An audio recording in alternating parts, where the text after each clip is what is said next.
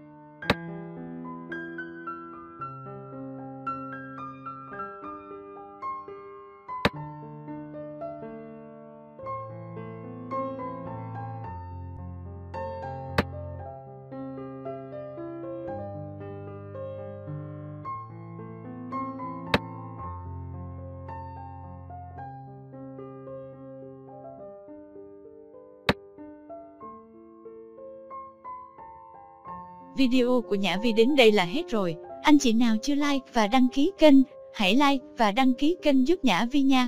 Nhã Vi cảm ơn anh chị, hẹn các anh chị ở các video tiếp theo nha.